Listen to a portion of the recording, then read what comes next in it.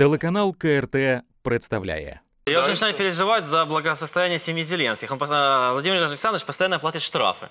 Это уже, по-моему, третий или четвертый штрафа за год. Да? Он До платил, этого помните, за за кофеин? Проголосовал, кофейню он платил. показал. Да, 34 Нет, до тысячи. этого голосования, Саша Да, за голосование, когда он нарушил, Это- показал это бюллетень, платил. Нет, нет. Потом что-то там еще было с ПДД, по-моему, с кортежем он тоже платил. Он постоянно что-то платит. платит. Порошенко не платит, а этот платит. Он просто платит в первые 10 дней, пока скидка мне А.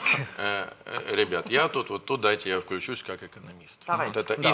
Исключительно мое Наполнение поле. бюджета. Вот тут это умница. Ну, честно, даже что эта мысль была уникальная от меня, да. Владимир Александрович, понимаю, что вот он спросил э, э, вот всех своих экономистов, которые там вокруг него, что, где резервы. Ну, они ему сказали, есть резерв один, не воровать, но мы на это никогда не пойдем. Он говорит, а другие вопросы, можно другие механизмы? Другие механизмы э, достали книги. До этого они на выборы шли, у них была книга там Лек Ван Ю из третьего мира в первый. Да. Или там Эрик Рейнард э, «Почему богатые страны остаются богатые, а бедные мирят». Ну, уже не говорим за Адама Смита. Да? Вот, с этими книгами. А сейчас, оказывается, намного проще книга Чиполлина. Там, ну, там все понятно, потому что вот эти вот умничания, Занятые. да, там все понятно, Открыли. потому что за воздух, за воду, за вздохи, за выдохи, за все. И поэтому, поэтому решили так.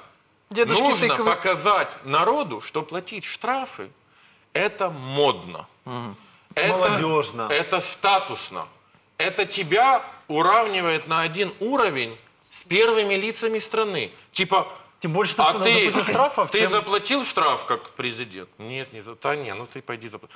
И вот тут, представьте, 40 миллионов населения. Я считаю, детей тоже надо штрафовать или родителей за детей. потому что И- это- всех, кто выехал, надо штрафовать. Вот, вот, э, потому что после 10 вечера тоже дети порой вот это активничают. Активничают. Поэтому взять штрафы наперед, как депозитный штраф. Бегают за кофе. Да все что угодно. И вот штрафами можно дефицит бюджета погашать до бесконечности. И это может стать самая большая статья. И модно. Поэтому, да, и модно, и в тренде. Можно прямо делать себе такую плашечку в социальных сетях. Я заплатил штраф. Нет, сколько ты заплатил?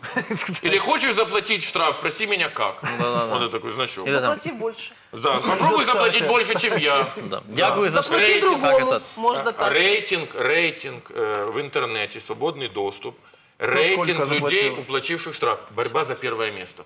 Конечно. Миллион, миллион и десять тысяч, миллион десять тысяч и 170 гривен. Да. пойдет, И да? пошла, пошла, пошла, пошла. Заодно и будет легко провести перепись населения.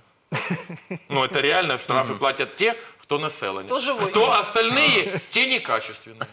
Опять-таки угроза, что к вам придет третья... На- напоминание, вы не уплатили штраф, к вам придет Третьяков. Ваш- э, ваше личное дело передано в офис Третьякова на изучение. Ожидайте на линии, нам очень важен ваш звонок. И все. Да. Да. И как раз пока вот это пишут, люди уже это не, не Это онлайн, а се- э, э, краина в смартфоне, диджитализация. Быстренько раз штраф уплатил. Представьте, и Что человек, быстро. и человек такой сидит перед компьютером, и тут все перерывается, включается Третьякова. Да, и вот он рождается, у малоимущих рождаются некачественные дети.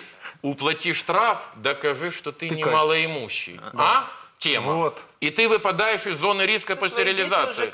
Да, и заплатил за себя, за семью, и ты уже все.